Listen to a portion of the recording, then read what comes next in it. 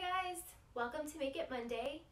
Today we are doing found object printmaking, which is literally you just going around your house and finding random things that we are going to make really cool paint prints with.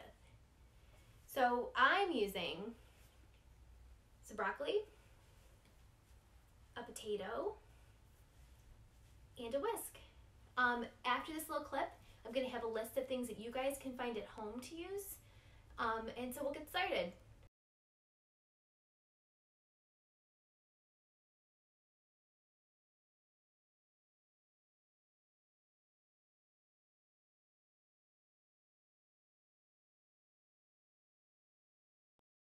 So to get started, we're going to take one of our objects, start with this broccoli, and we are going to dip it in our paint, and we're going to dip it on the paper kind of get this cool effect with the broccoli.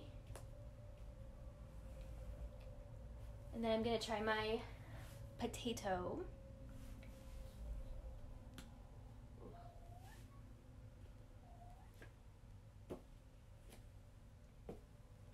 Well, like that. And last, we are going to use my handy dandy whisk